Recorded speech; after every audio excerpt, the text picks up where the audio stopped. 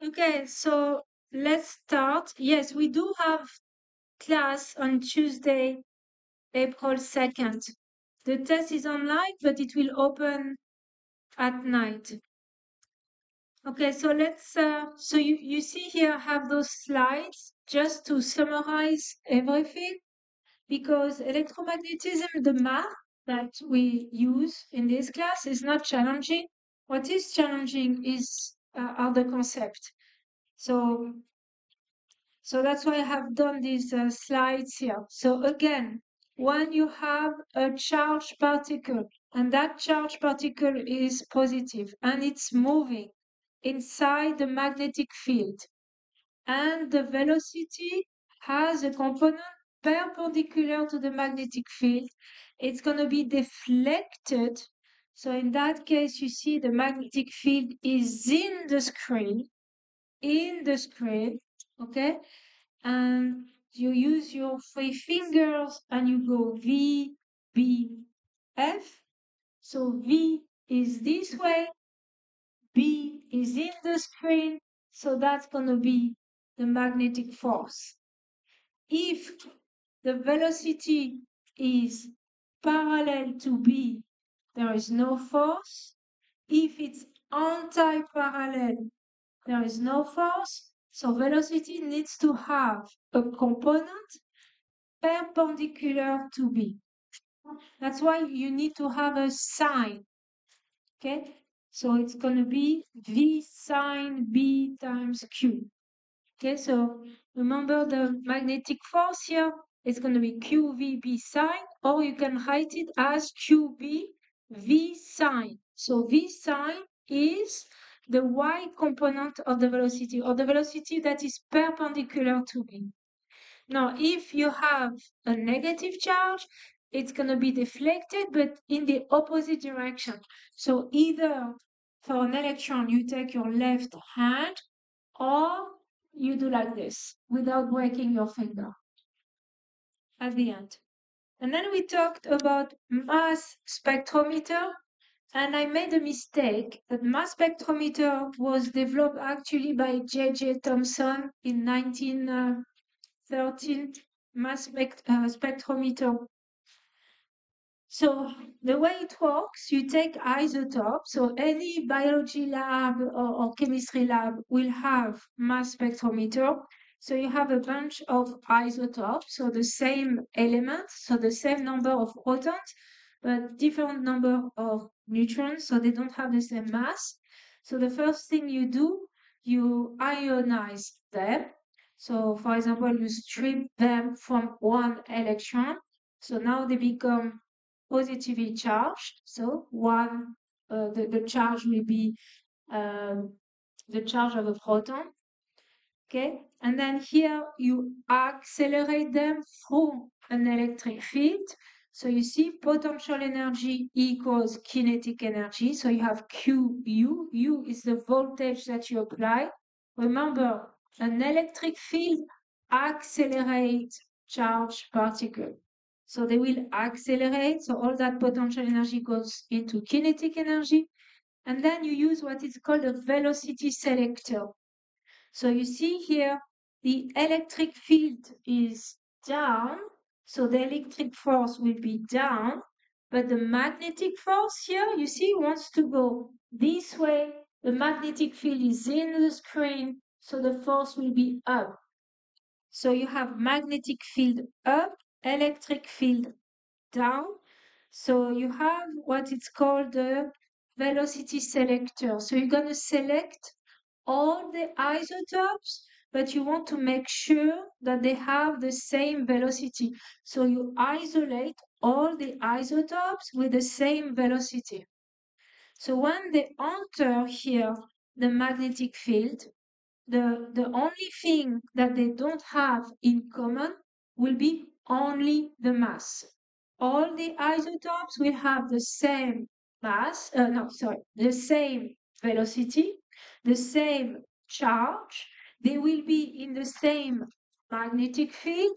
The only thing they don't have the same will be the mass.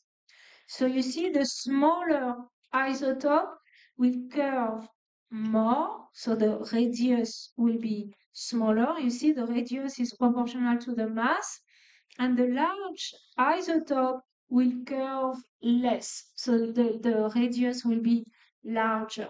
Okay, so there is a question like that for the pop quiz. You see the radius is proportional to the mass. So this is called the mass spectrometer because if you have, for example, your detector, so you can move the detector or maybe you don't move your detector, you have the detector here and you're going to change the magnetic field until you're going to detect a beam. So you can, you can collect your isotopes and you can find the mass of the isotope because you have the radius. So you can use that for finding the masses of an isotope. You can use it to sort out isotopes. So I told you for uh, uranium, if you want to enrich uranium, back then, that's what they used, okay, to, to, to sort out uranium-235 from uranium-238. Uranium-235, that's what you need for an atomic bomb. That was back then. Now they have different ways to do it. Or you can also count the abundance of each isotope. So here you can have a beep, beep, beep, and beep, beep, beep, beep, beep, beep, beep, beep. You know, so you, you know how many of them there is, how many, like, uh, I don't know, nickel, whatever is inside that uh, group of isotopes. Is that clear? So any lab, okay, will have a mass spectrometer. Okay, so we did that and uh, that that that could be like that that will be a mass spectrometer no this this device here will work on the same principle so you can have an electric field here and you have a magnetic field there and if you tune the magnetic field just the right way the beam of electron will go in a straight line and that's how J.J. Thomson was able to discover the electron and to find the ratio between Q and M. Okay, you have the ratio here between Q and M. So that was done very early.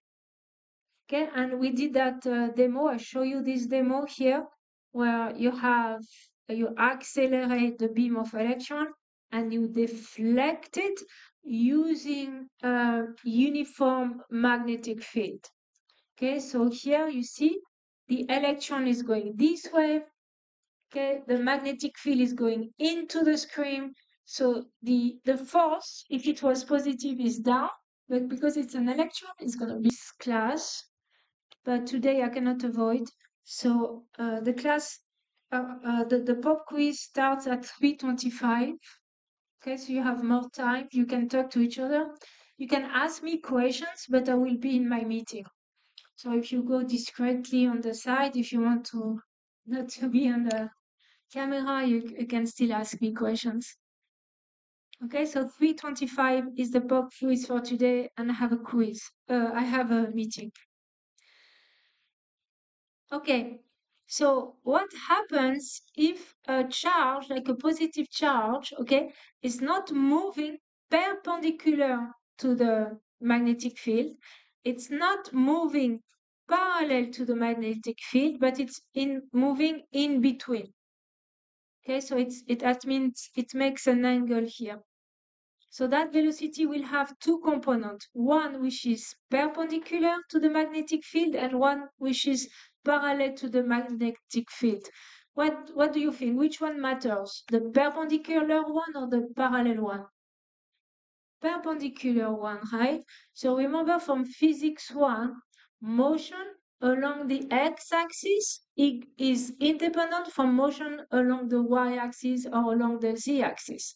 So for example, for projectile motion, okay, it's doing two things at the same time.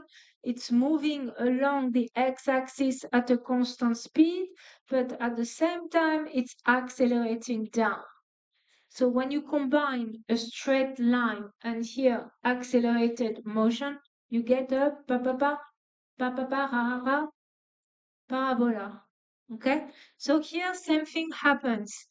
If that particle is moving in this direction, so because of that component, it wants to circle out the magnetic field, but at the same time, it's moving in this direction and it wants to keep moving in that direction. To, don't take that away from me. So it's going to do that uh, uh, interesting motion. It's called um, helical. It's a helical motion. It's a helical path like this. Isn't that interesting? So for example, if you look at the Earth magnetic field, so the Earth magnetic field is protecting us from uh, from uh, yes uh, co cosmic rays. So all those charged particles coming from the sun or coming from space can be very damaging for life. So now they're gonna be forced to circle out around the magnetic field, right? Back and forth. Doing so, they're gonna lose energy. And when a particle is accelerating, even though it's going into a circle, so it's you still have a centripetal acceleration, it's going to emit radiation. So any charged particle that are accelerating, it's going to emit radiation. That's why you have those uh, Van Allen belt okay, around the Earth. So all that will be beautiful colors that you can see in space. Okay? So that will be the motion I'm talking about. This is because the velocity has two components. One component perpendicular to B, so it will have to go around a circle. One component along B, so it's also moving forward. So it's doing two things at the same time. It's going around a circle, but also moving forward. And um, I don't know if, okay, I can show you that's just an app, applet. No. Can you see here? So you see the charge particle is going around the magnetic field line. And why, uh, when it's doing this, it's gonna radiate electromagnetic waves, okay? It's gonna emit radiation. Isn't that interesting? Right? And uh, yeah, you have another picture for that. You have the velocity here. You have two components. Okay, so this component is the one I'm going to use to find the force. Okay, it's the perpendicular component that you use. So when you do F equals QVB, you use that component. Okay, that will be uh, the one used in your equation, this component does not matters and it's going to go around the magnetic field lines. Is that clear? Okay, isn't that interesting? So you, you can uh, you, you can have a lot of uh, interesting configuration. So for example, here you have two coils.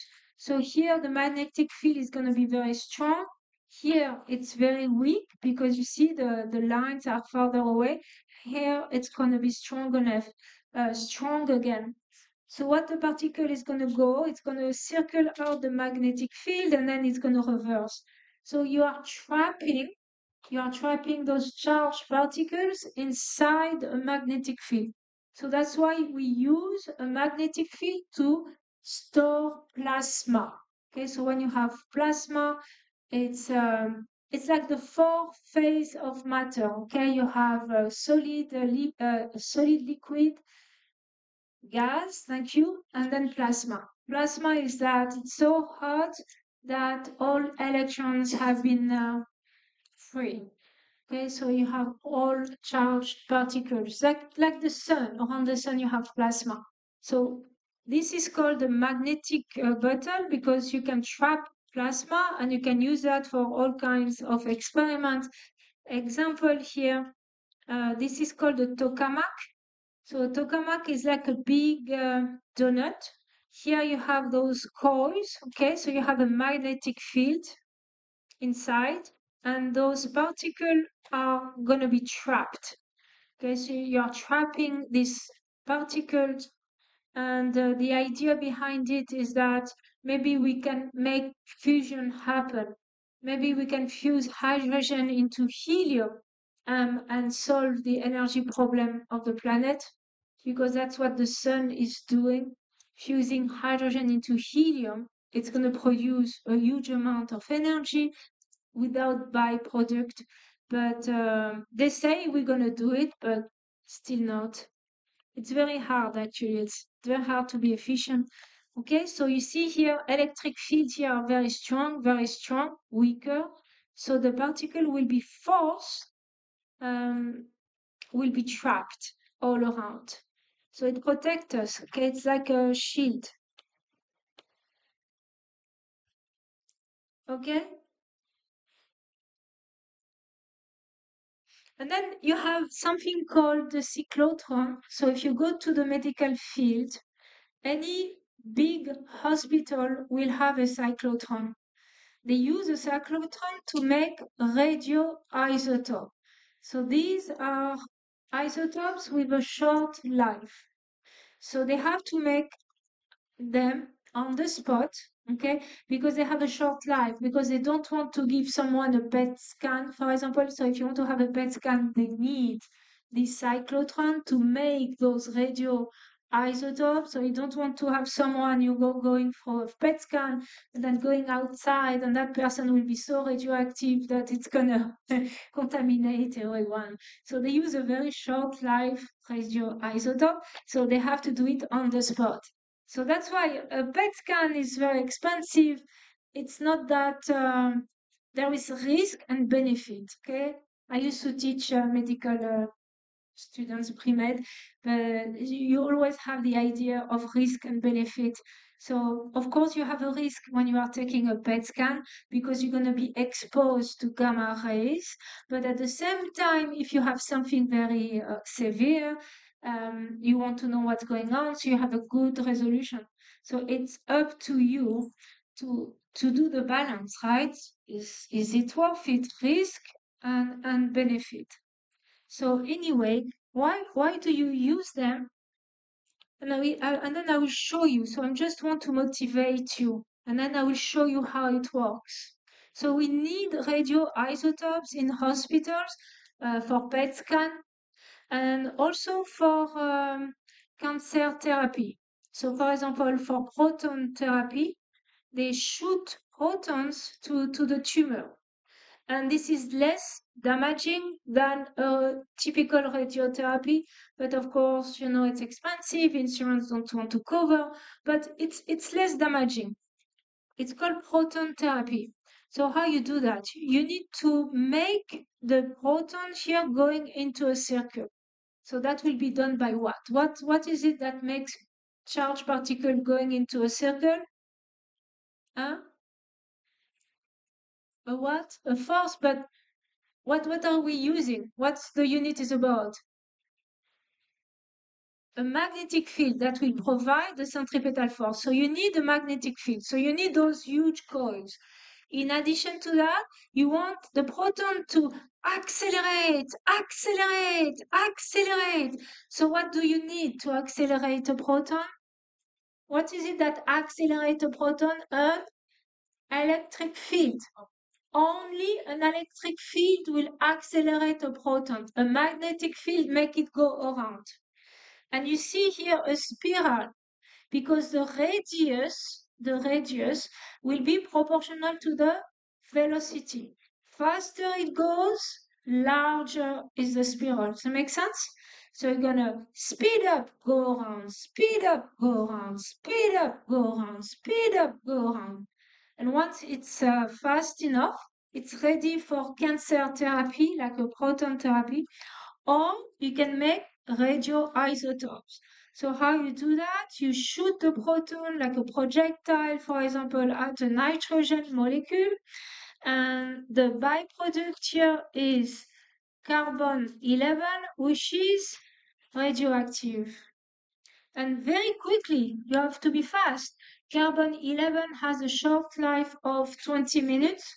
So it means in 20 minutes, half of it is gone. So you can use that, you can give it to a, a patient, for example, it will go, you, you, you, you mix it with sugar and you all know that cancer is a me metabolic uh, disease, so all it does to grow because of sugar. So if you stop the sugar, it's very good actually. So anyway, you, you give it with sugar, the sugar will go to the tumor, and then you can you can detect where the tumor is because it's going to do beep beep beep beep because it's radioactive. So if you want to go to the brain, then you will use oxygen because the brain is an organ that you know that better than me, consume a lot of oxygen. Half-life is two minutes.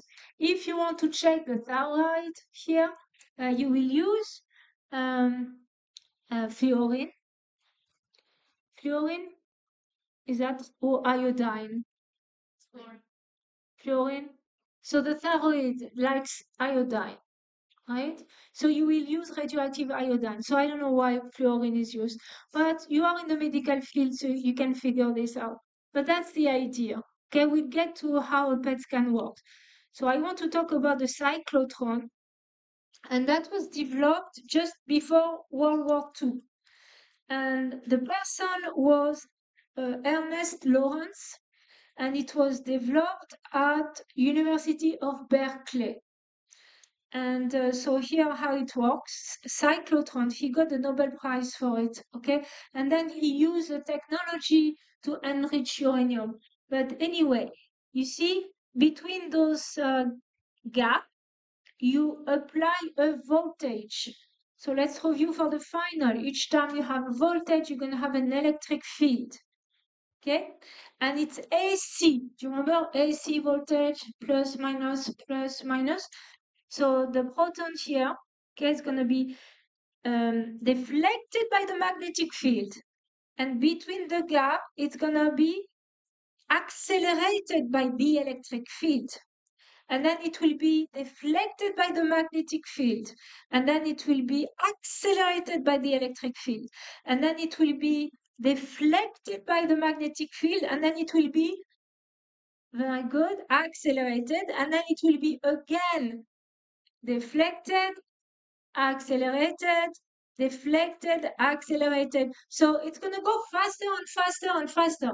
This is genius. That's why the guy got the Nobel Prize. Because look, as, as it's going to go faster and faster and faster, it's going to make larger and larger circle. But it's confined. You don't need like a huge linear accelerator anymore like it was done. It doesn't take much space. It's, it's not very big. Can show you what it looks like. Looks like this, okay? It's, it's not very big. Isn't that star? Uh, uh, so, but each time it get to the gap here, the voltage, because it's AC, is going to switch. So the electric field is going to be in this direction. By the time it gets to here, so half a cycle after, it's going to be in the other direction. So the electric field is going to do this, okay, because it's AC. So it's perfect. And why is so beautiful? Because look, I think there is another question about that. The time it takes for one cycle is velocity independent. It does not depend on the velocity. So even though here it's moving faster and faster and faster, it will always take the same time to complete half of a circle. So then you will know the frequency of the AC. Got that? Very important for uh, nuclear medicine. You know, I know they always need people uh, for uh, for handling radioisotope. It's used to lo uh, a lot in the hospitals, but not only. So here you see it's um, explained. You have a magnetic field. Um, you can use a coil. You can even use a permanent magnet, and it's going to accelerate, accelerate, accelerate, accelerate, going very fast. And then you can use your proton as a projectile.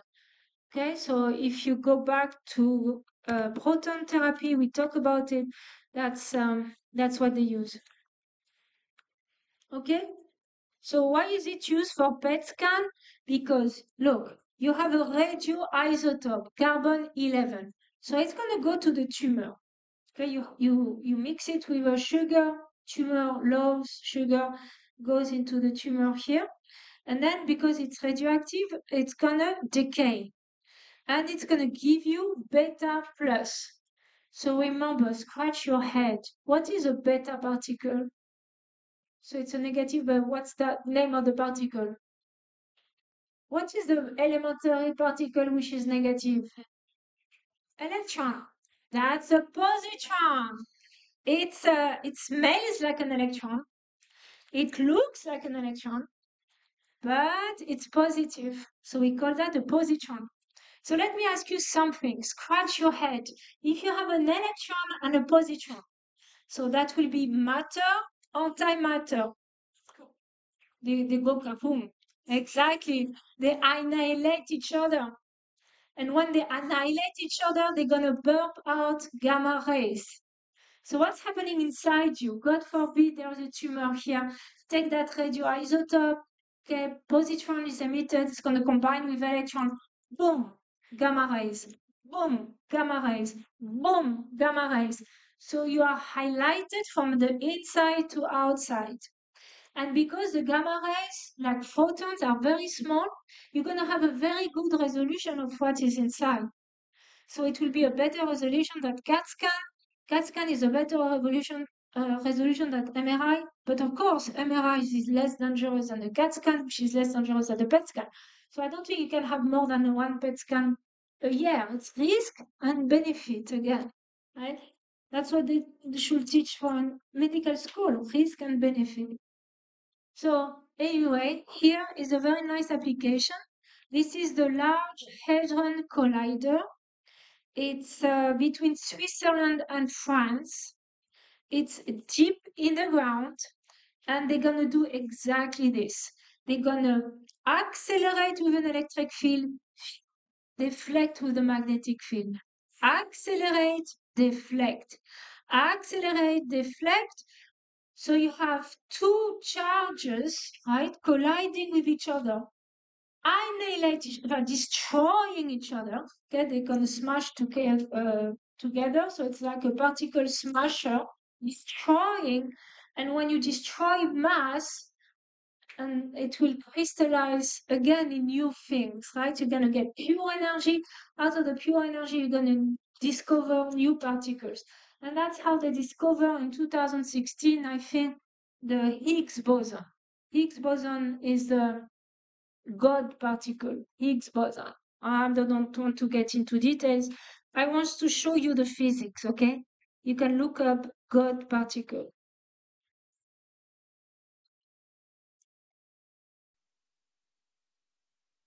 Insignificant though this? bottle of compressed hydrogen gas looks, it marks the beginning of the world's largest and most powerful particle accelerator chain, culminating in CERN's spectacular Large Hadron Collider. Hydrogen atoms from this gas cylinder are fed at a precisely controlled rate into the source chamber of a linear accelerator, CERN's LINAC 2, where their electrons are stripped off to leave hydrogen. Isn't that cool? They are being ionized, right? You learned that in chemistry. Let's see if we can go a little bit faster. If it's too fast, I will go back. Nuclei. These are protons and have a positive charge, enabling them to be accelerated by an electric field. Their journey to eventually take part in ultra-high energy collisions, similar to those following the Big Bang, can now begin. This initial acceleration has caused LINAC 2 to be likened to the lumbering first stage of a huge rocket. By the time this packet of protons leaves LINAC 2, it'll be travelling at one-third the speed of light. It's about to enter the booster, stage two of the rocket, if you will. In order to maximize the intensity of the beam, the packet is divided up into four, one for each of the booster's rings. Straight acceleration is now impractical, and the booster is circular, 157 meters in circumference. In order to accelerate the packets, they are repeatedly circulated, and the electric field is now pulsed, in the same way that you push a child on a swing each time they reach a certain point. Magnets exert a force on the passing protons at right angles. So it's not really a magnet, okay? They are simplifying. Um, for the electric field, you're going to use a AC voltage. For the magnetic field, you're going to use a huge coil that costs a huge amount of money. Okay, we're talking about trillion of EV. Angles to their direction of motion, and so powerful electromagnets are used to bend the beam of protons round the circle. The booster accelerates the protons up to 91.6% of the speed of light and squeezes them closer together. Recombining the packet from the four rings, it's then flung on into the proton synchrotron, by analogy stage 3 of our rocket. Let's just follow two such proton packets. The proton synchrotron is 628 meters in circumference, and they circulate for 1.2 seconds, reaching over 99.9% of the velocity of light. It's here that the point of transition is reached, a point where the energy added to the protons by the pulsating electric field cannot translate into increased velocity, as they're already approaching the limiting speed of light. Instead, the added energy manifests itself as increasing mass of the protons. In short, the protons can't go faster, so they get heavier. The microscopic kinetic energy of each proton is measured in units called electron volts, and now the energy of each proton has risen to 25 giga electron volts, or GeV. The protons are now 25 times heavier than they are at rest. The packets of protons are now channeled into stage 4, the superproton synchrotron, a huge ring 7 kilometers in circumference, designed specifically to accept protons at this energy and increase it to 450 GeV. Soon, the packets of protons will be energized sufficiently to be launched into the orbit of the gigantic Large Hadron Collider, or LHC, which lies between the Jura Mountains and the Alps, and straddles both France and Switzerland. Lying deep underground, it has a circumference of 27 kilometers. There are two vacuum pipes within the LHC, containing proton beams traveling in opposite directions. Using ultra-sophisticated kickers to synchronize incoming packets with those already circulating, one vacuum pipe has injected into it protons which will circulate clockwise, and the other protons which will circulate anti-clockwise. The counter-rotating beams cross over in the four detector caverns, where they can be made to collide. The energy of the collision is double that of the individual opposing protons, and it's the debris from these collisions that is tracked in the detectors. For half an hour, the SPS injects protons. Finally, there are 2,808 packets. During this time, the LHC adds extra energy to each proton, whose velocity is now so near the speed of light that it goes round the 27 kilometer ring over 11,000 times each second, getting a boost of energy at each revolution from the pulsed electric field. Finally, each proton has an energy of 7 tera electron volts, and they're 7,000 times heavier than at rest. The magnetic force needed to keep the beams bending to the ring is so enormous that nearly 12,000 amps must flow through its electromagnets. This is achieved by making the LHC colder than outer space, so that its magnets become superconducting. Now the protons are ready to collide in the detectors a steering magnet finally brings them to a collision course. The total energy of two protons colliding in the LHC is 14 tera electron volts and reproduces similar states to moments after the Big Bang. Particle tracks from these collisions will be analysed by computers connected to the detectors, and it's hoped these tracks will give a new insight into the very birth of our universe, how our universe has evolved, what governs its behavior today, and where it's going in the future. Okay, so it led to a Nobel Prize, I think it was 2016. They discovered the Higgs boson. So uh, you remember uh, Einstein equation says E equals mc squared. So that means mass is a form of energy. So when you destroy mass, because they collide with each other, you can have pure energy. And out of that energy, gonna crystallize subparticles, okay, new stuff. And that's how they discover Higgs boson. Higgs boson is what uh, give things mass. Okay, you, you can ask Chat GPT. It will explain to you. You do Higgs boson in simple terms. Okay, so you accelerate charged particle with an electric field and you band particles with a magnetic field.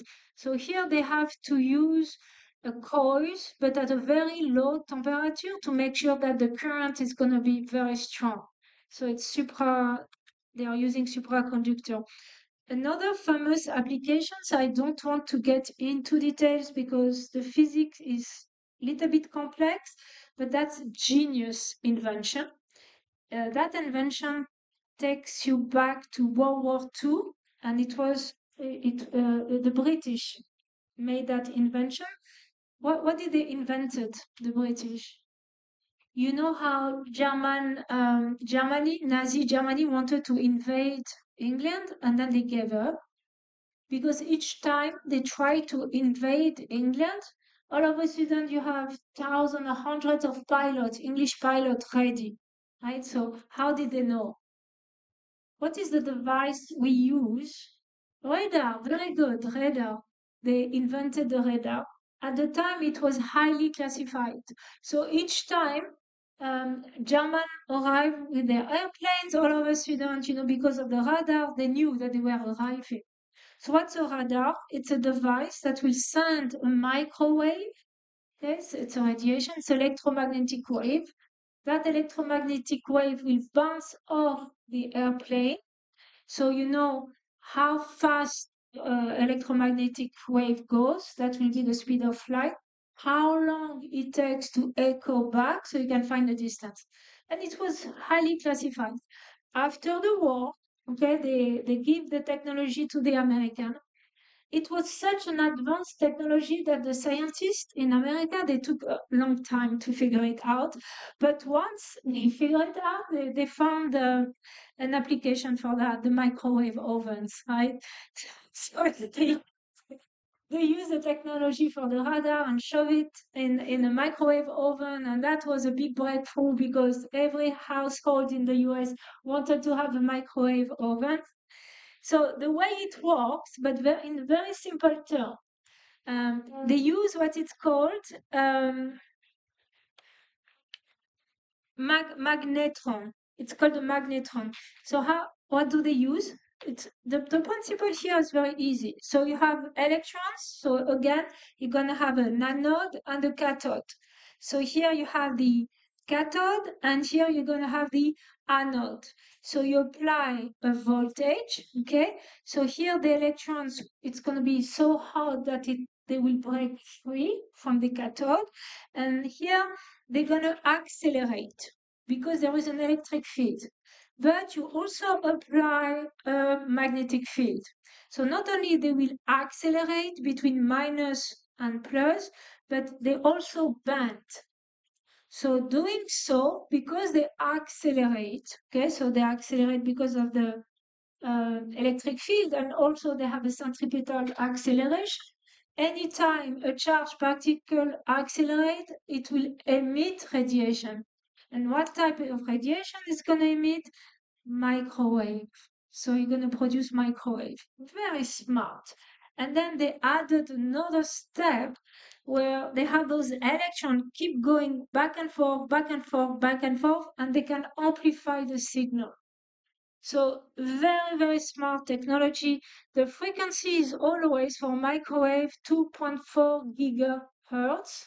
Okay, you you don't need a strong magnet. So if you open your microwave, or don't do that, could be dangerous. But uh, anyway, inside the microwave, you just have a permanent magnet, not not that strong. So if you want, I will upload a, a movie, a video that will uh, explain how it works. If I if I don't, you can remind me. But it's a, it's a little bit um, advanced. World War II was one of the most dramatic this radiation space. Time, however, its efficiency caused huge difference in its pre-war as a creating the time to take. Okay, so The magnetic field forces the electrons to take a curved path. Since the path of the electrons is now curved, the time that the electrons spend in the interaction space is increased. The final structure thus formed is known as a Hull magnetron. So you see here that will be the cathode, this is the anode. The electron will be bent because of the magnetic field. So they're going to accelerate to the anode. When, the, when this is happening, the radiation here, microwave are emitted. Okay? If you are interested, I, I will upload the video. So th that's a great application. You have another application here, interesting. It's called the Hall effect. And this is used to measure magnetic field or to measure current. So I'll show you a simulation. So this is called the Hall effect. Let's see.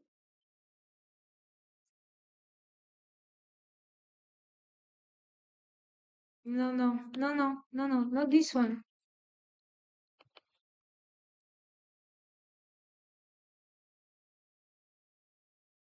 I think there is a, a thing in the pop quiz about that. You see, you have the current flowing. The current is flowing. Remember? Current is moving positive charges, right? So it's moving towards you. Magnetic field is down, so the force will be to the right. So do you see how the protons will be moved to the right and the electron will be moved to the left? So on one side, you're going to have electrons here. On the other side, you have um, protons. So you're going to have a voltage here. Okay, so you're going to produce a voltage. That voltage, okay, will be proportional to B. So you can use that um, principle to measure the intensity of the magnetic field or the intensity of the current. Okay?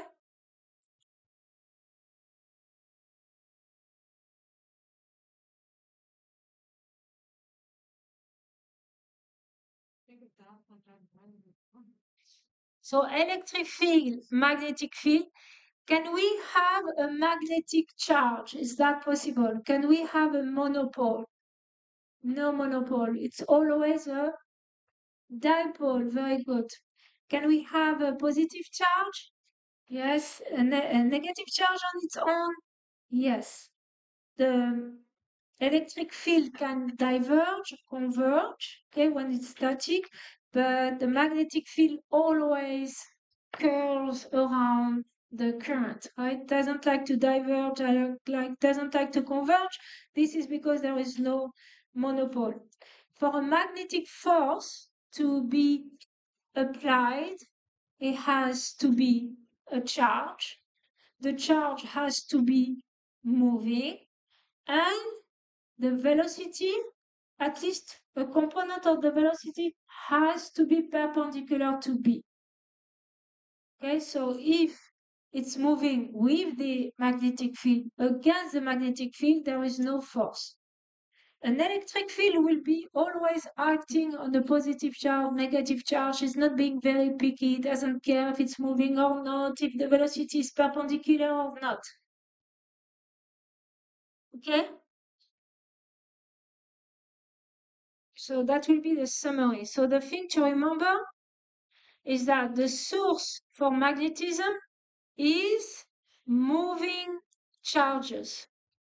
So even if you have a proton, for example, inside hydrogen atom, okay, it will have a spin. So everything happens like it's spinning. And so it will behave like a small magnet. Okay, and then I look at your equation sheet and I saw that some of the equations are missing. So what you want to do, okay, I will try to repeat it over and over again because I don't have everyone, but you see this page comes from your book, Johnson and Cutnell. You, you want to print them out unless you want to memorize everything. So that's good. So if you want to train your memory, but you want to print out this page and you can add that to your equation sheet. I will not do it for you, okay? I don't want to print out like 100 students. So you can print out this page. Is that clear? For uh, uh, uh for test three, okay, it's going to be online, but at least for the final. Is that clear? Yes. Okay, so for example, here you have a magnetic force acting on the moving charge and we want to make sure to use only the perpendicular component, okay, the, the component of the velocity perpendicular to B. Here you have the circular motion, The radius is proportional to the mass, proportional to the velocity, inversely proportional to Q, inversely proportional to B. In the mass spectrometer, you're going to have this equation here. The V here is the potential difference, so it's a voltage. See, that's how we can find the mass of isotopes.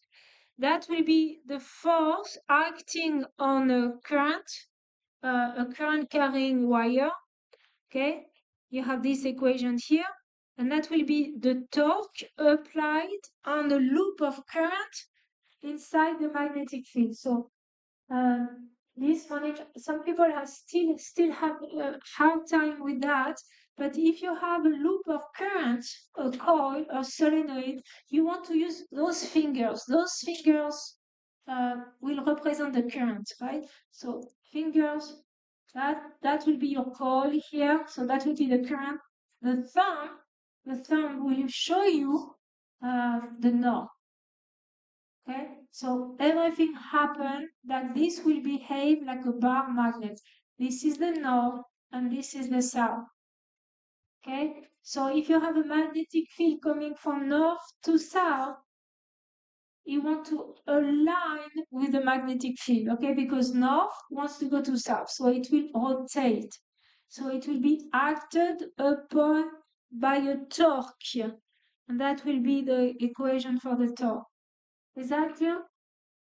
So if you have a straight wire, current will be your thumb, and that will be the magnetic field circling around. If you have a coil, your fingers will be the current, and that will be your um, um, the magnetic that that will be your north current north. So that will be the magnetic field going this way. Okay, so that's to help you out. So we're gonna go back to the so that chapter is called Ampere's law.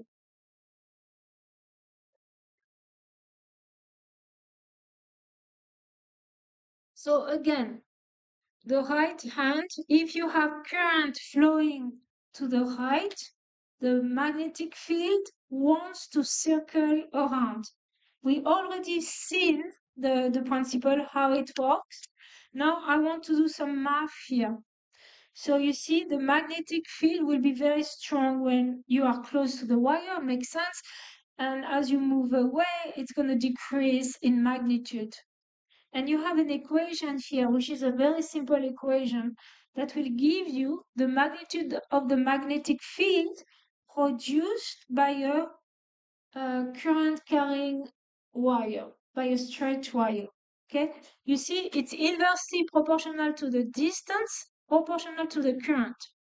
And I'm introducing a new constant. You remember for uh, electrostatic, we had epsilon zero and k.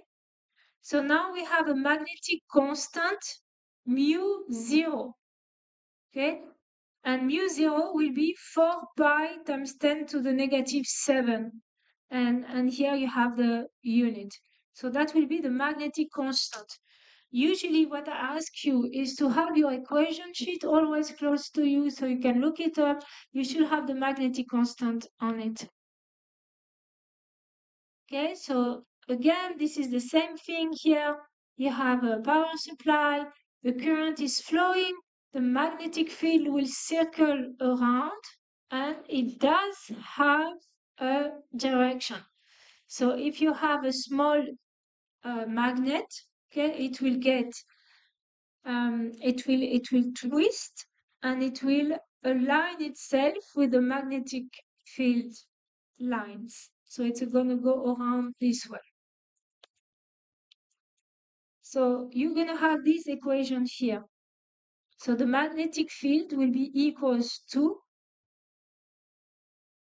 and if um, if you play with this equation you're going to get this this equation here 2 times 10 to the negative 7 IR because I'm substituting here. Let me show you. That's I'm just taking a shortcut.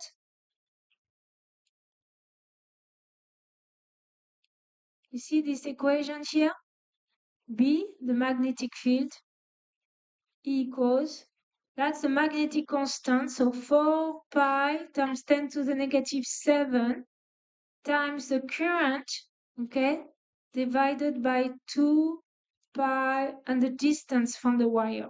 So you can cross out the pi. You simplify here 2. So what you get at the end is 2 uh, times 10 to the negative 7 i over r. That will be for the magnitude.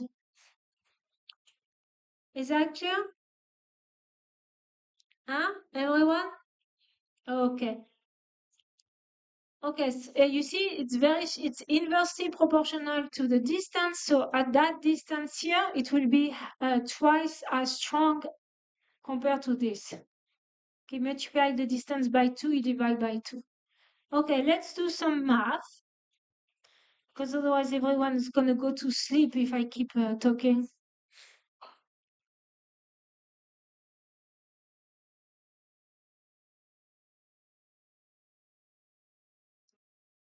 Okay, doing it?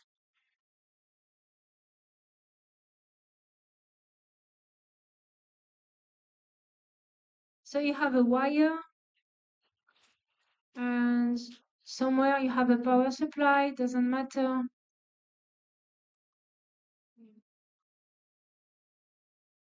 So the magnetic field is going this way.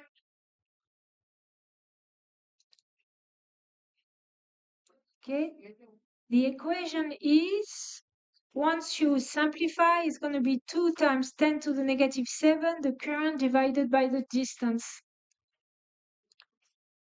So that will be the magnetic field at a distance r. Okay? So, How did you get two two times six? but we, we, I, I just did that, so I erased. Here, you simplify mu 0 i over 2 pi, and mu 0 equals to this. So you simplify and you get that. But you can you can keep this one, doesn't matter. So R equals 0.01. The magnetic field is 0.3 times 10 to the negative 3 Tesla. And the current is question mark. So did you do it?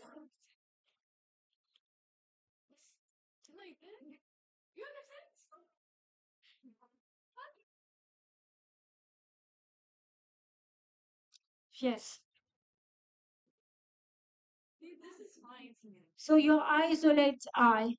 You see, once you understand the concept, uh, math,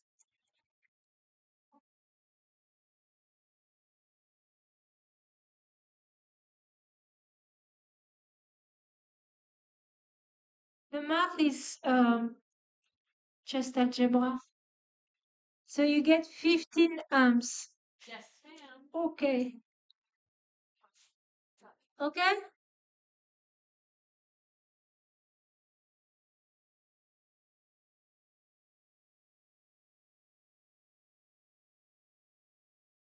Okay, number two.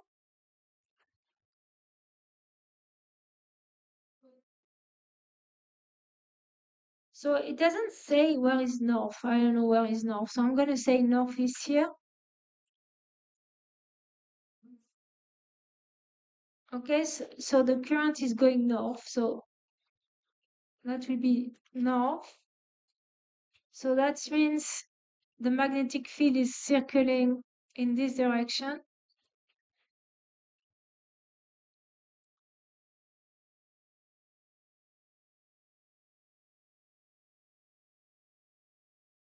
Or it's above. Well, that, it doesn't matter. And you want to find at a distance r.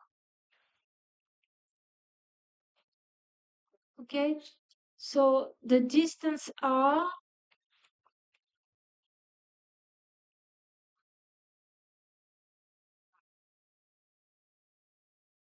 We're solving for. How do we? uh, you are solving for b. Uh, 6 So b equals, again, 2 times 10 to the negative 7. It's like a constant. This constant is like the 9 times 10 to the 9.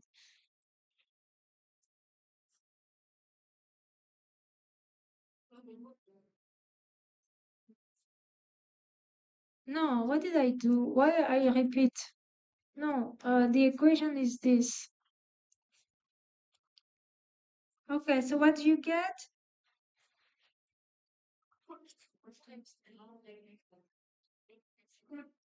Just so. Which is 0.1 times 10 to the negative 4. So it's going to be a very weak magnetic field. It's 0.1 Gauss.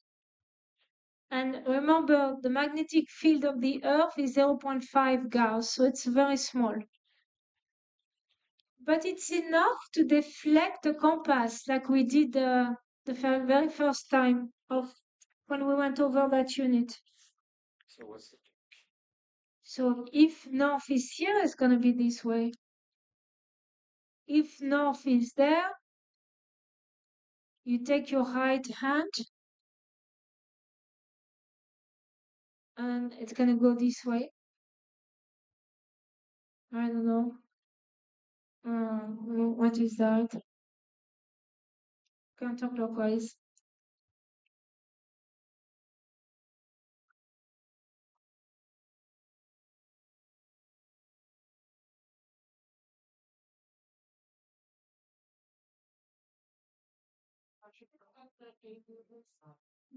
I think she said that, um, Kim.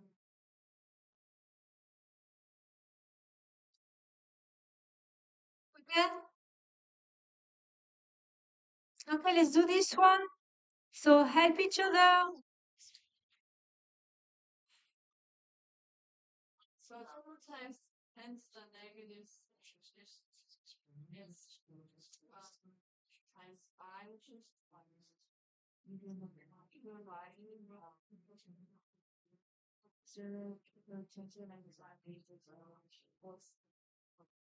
So if you did, so it's to the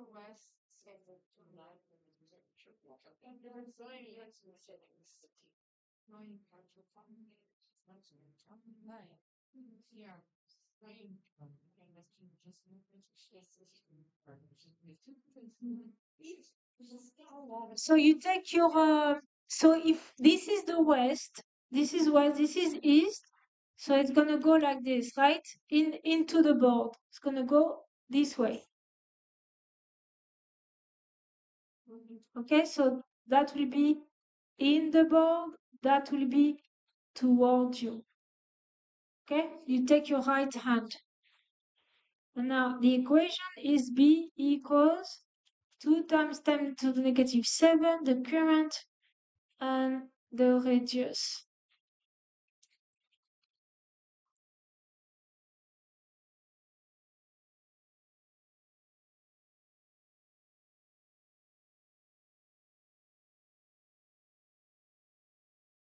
Uh, I don't know how much is that, but it's something.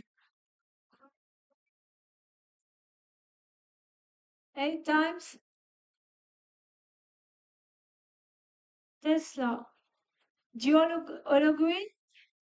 Okay, so that will be a point eight times 10 to the negative 4 Tesla. So that's going to be 0 0.8 Gauss.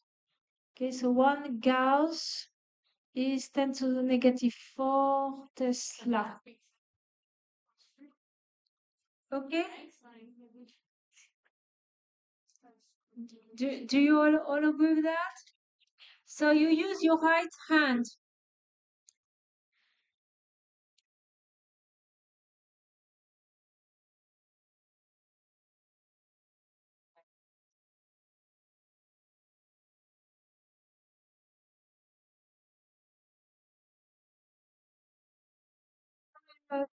I don't know, let's, do you want to do number three or it's easy? Okay, let's do number three quickly so we can move on. Quick, quick, quick, quick, quick, quick.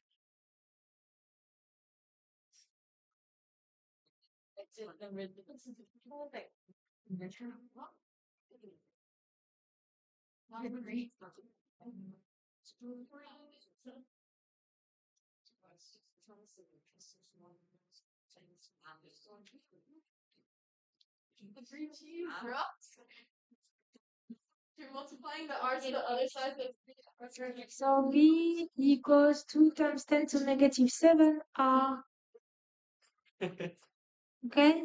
So B 0.25 times 10 to negative 3 equals 2 times 10 to negative 7 times I divided by 0.2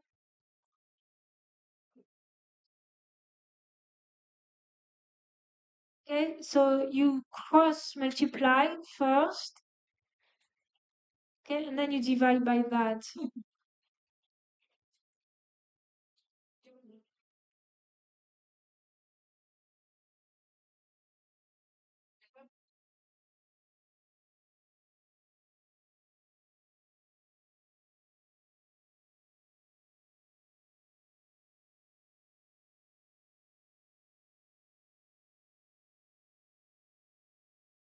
Okay? So what you get? Yeah, it's it's a big value.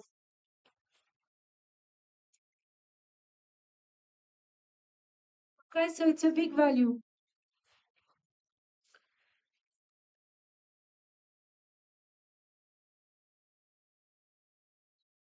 Okay, let's try to do this one. Come on, come on, come on, come on, come on, come on, come on, come on. It's a two steps problem. It comes from the book Johnson and Cutnell. Not that bad. Again. So two step. You have a wire. Okay, so it's gonna make a magnetic field. Okay, circling around. And then you place a positive charge that is moving in this direction. So you see the magnetic field is this way, the velocity is that way. So V and B and F. So the force is going in this direction. The force is always perpendicular to both the velocity and B. So the the what is going to happen? The charge will circle out around the wire. It, it's going to be bent. It will be deflected. So first step, you're going to find the magnetic field. Second step, you're going to use the, the magnetic force. They want you to find the magnetic force. Okay, go ahead. Two step. First step, find the magnetic field. First step, you find the magnetic field.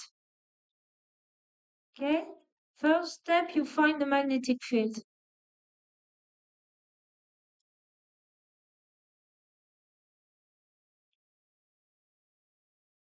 So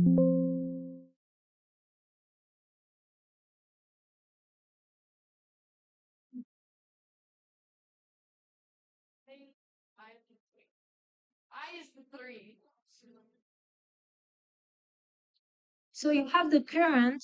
So I equals 3. Let's see, you have the charge 6.5 times 10 to the negative 6 coulomb. You have the distance r. So distance mm-hmm. r is 0.05 meters. You have the velocity which is 280 meter per second. So step one, find B. Exactly, you are using the same expression. Okay? Yeah, what did you say? 1.2? Tesla, very good. Okay? So you have the magnetic field, which is 1.2 times 10 to negative 5. You have the velocity, which is 280 meter per second. So you have a force perpendicular to V, perpendicular to B. So that's when you get your uh, equation sheet.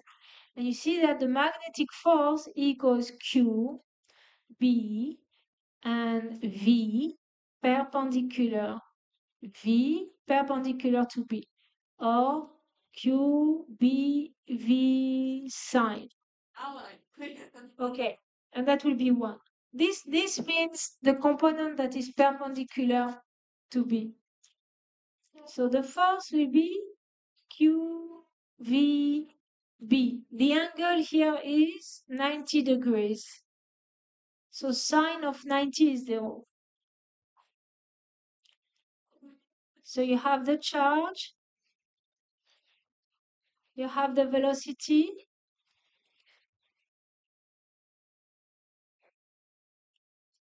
and oh, we have B.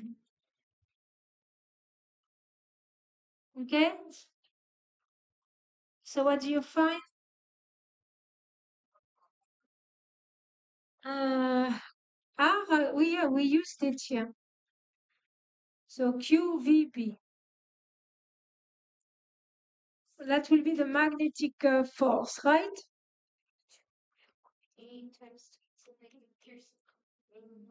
Negative 8 or negative 7?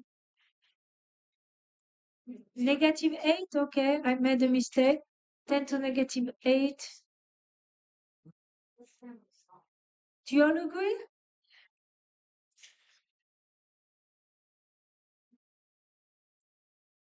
Okay, so you see you use the magnetic force and for B you're going to use uh, the equation for a magnetic field produced by the current I. They don't give you the solution, but I guess you write 2.18 times 10 to the negative 8. Okay? So interestingly, if you have two wires, okay, so listen to that because that will be conceptual questions.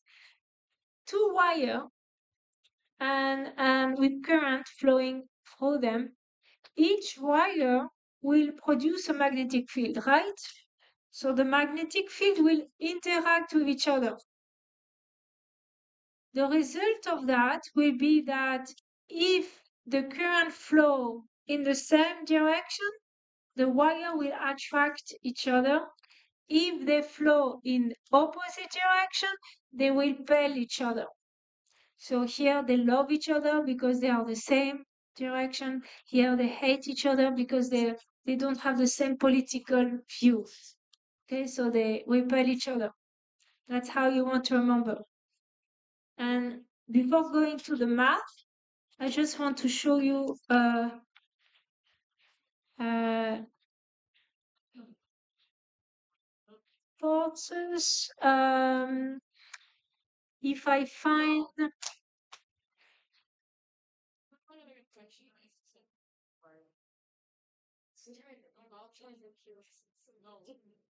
jumping wire, I cannot jumping jumping ring. No. Uh, by the way, do you see the Van Allen here? I was looking at. Do you see here? These are these are the particles that are trapped inside the magnetic field of the Earth, and it's gonna it's gonna emit those beautiful color. I just need to find the right uh, video. Stay with me. Don't don't space out. Just have force. Jumping wire? No, it's not this one, right?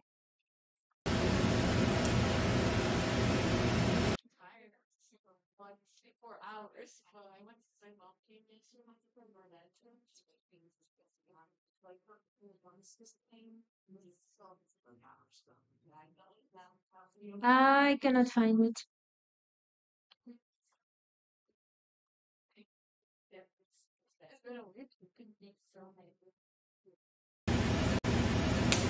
Ah, ah, ah, ah, ah, ah, ah, ah.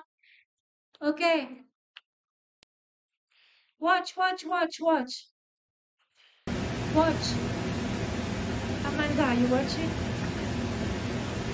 So you have a power supply. You have two wires. So it's in series. So because it's in series, it's gonna be uh, so four like this. Opposite direction. Opposite direction because it's in series. And now, same direction. Opposite, same. Isn't that weird? Isn't, isn't that interesting? So two, two wires will exert the force on each other.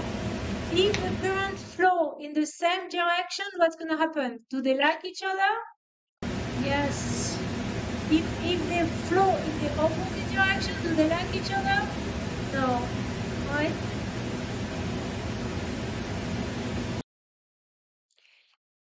Um, that, that's why sometimes you walk by transformers, okay, and you hear those noise.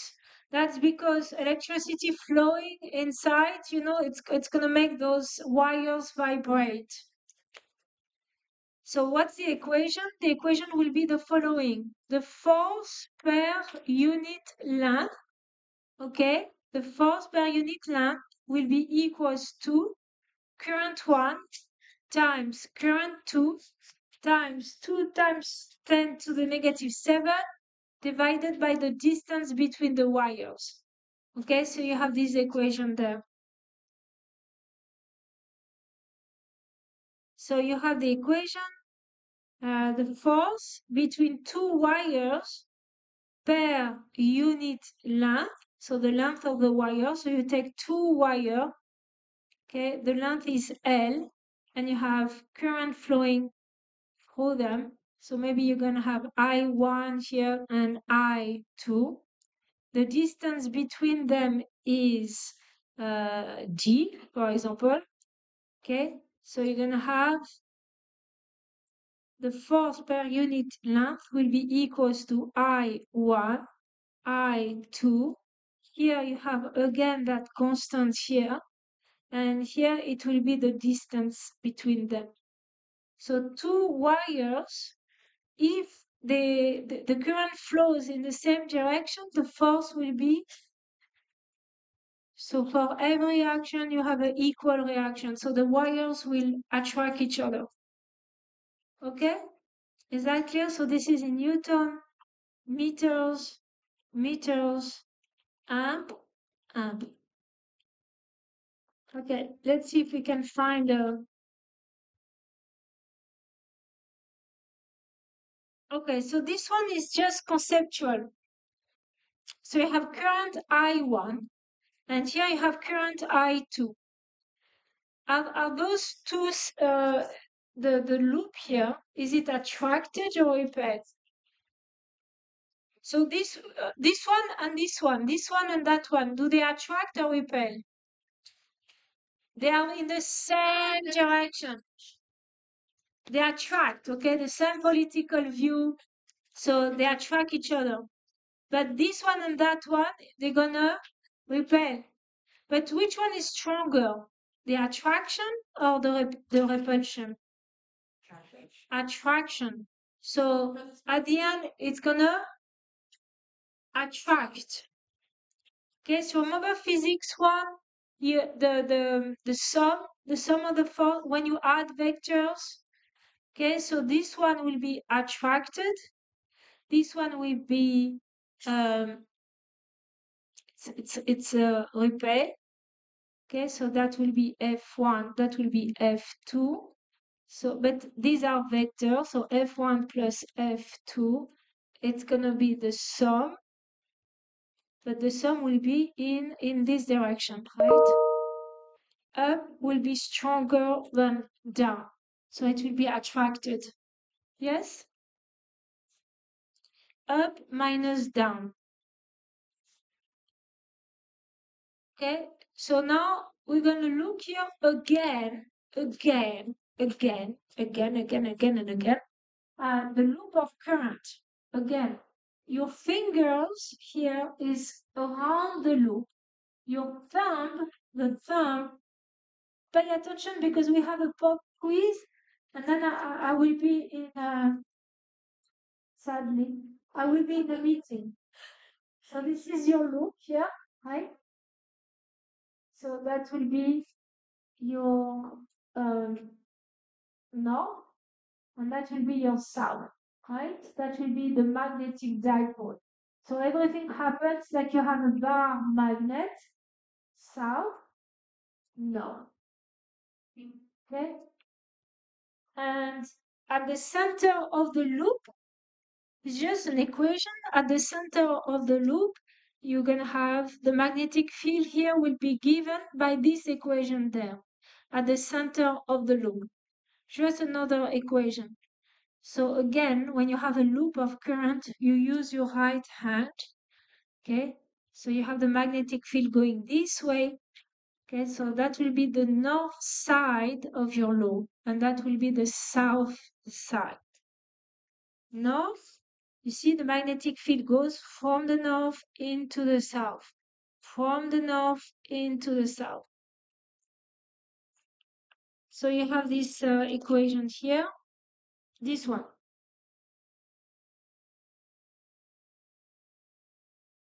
Okay.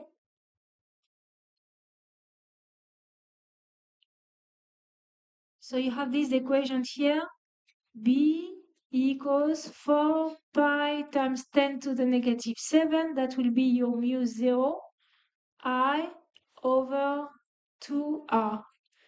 So what's the meaning? Is that if you have a loop of current, okay, so this is the loop of current, what's going to be the magnetic field here at the center? R is the radius. So make sure not to confuse with the previous equation. So it's not the same equation, right? Here we are finding the magnetic field at the center of the loop. Do you understand? Before we were talking about a straight wire and we were finding the magnetic field at a distance r. Here you have a loop, the radius is r, and you are finding the magnetic field here at the center. So all that we already know. Okay, um, challenging, kind of challenging. What's going to be the magnetic field here at C? So at the center here, you're going to use the second equation, and here you're going to use the first equation, but you have to use your hand.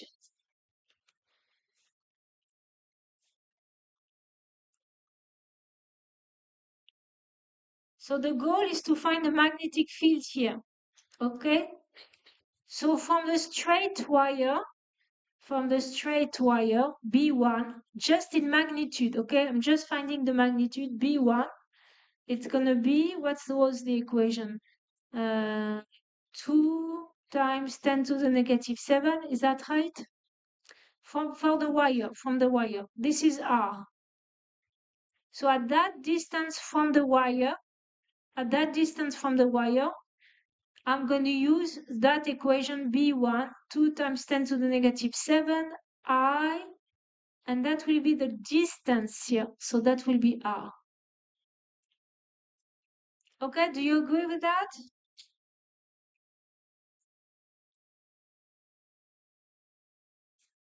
But now, can you can you trace B1 at point C? Is it going to be up or down? Okay, it's a little bit challenging. Bless you.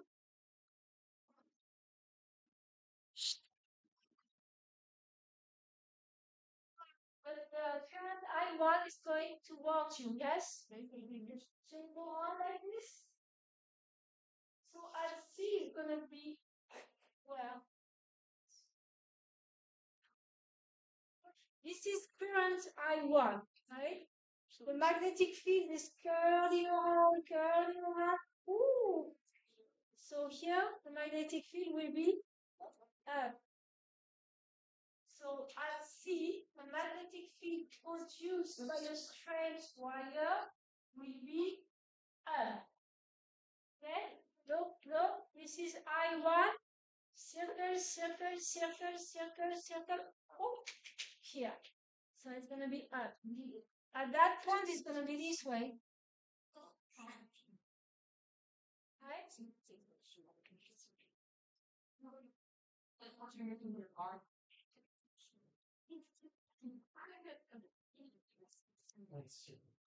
So that's going to be B1.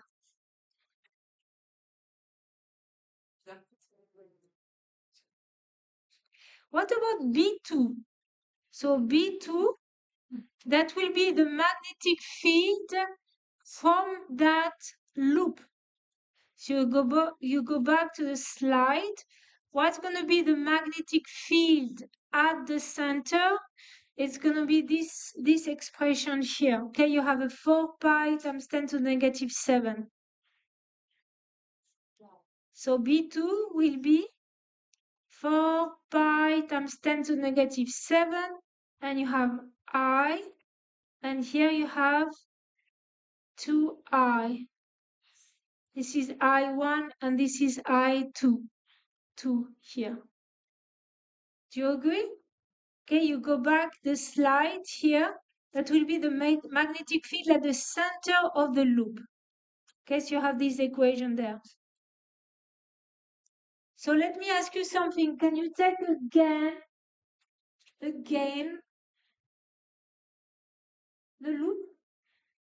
So which way it's gonna it's gonna circle? Where is your thumb? Down. Down. The thumb is down. Because it's circling.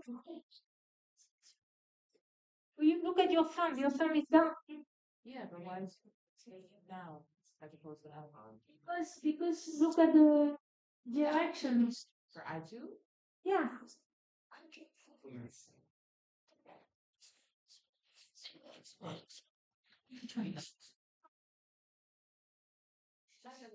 Well, no. Yes. So I. Down.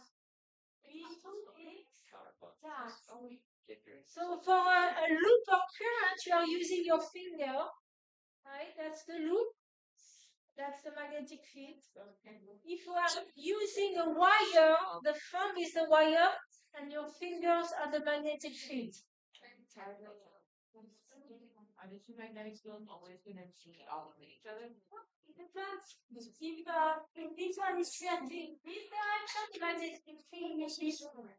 So they will be reinforcing each other. In that case, they are killing each other. So if you circle this way, magnetic field will be down. If you are circling that way, magnetic field will be up. Okay? So remember, if it's a straight wire, the thumb will be the current, magnetic field will circle around. If it is a loop, your fingers will be the current and your thumb will be the magnetic field. So that will be north, where the thumb is, and that will be south.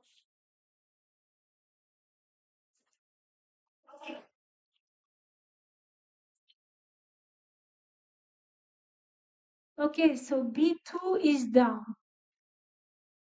So, sorry, if you said it's, if it's a loop, your thumb is the north, and then if it's a wire, your thumb is the. No, if it's a wire, the thumb is the wire, is the current, and this is the magnetic field.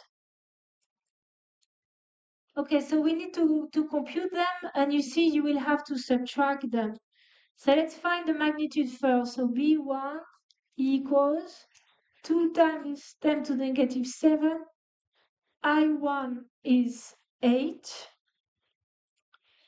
And the radius is 0 0.03. So you get negative 6 Tesla. B2 equals, uh, if I simplify, it's going to be 2 pi times 10 to negative 7. The current is 2. This is 0 0.03. So that's going to be 4.2 times 10 to the negative 5. And this is negative 5 as well, right? This is negative 5. So which one is stronger? It's the B1. Okay, so B, B, the sum, will be up minus down. So B1 minus B2. That's that's that's Yeah. No, because I just simplify.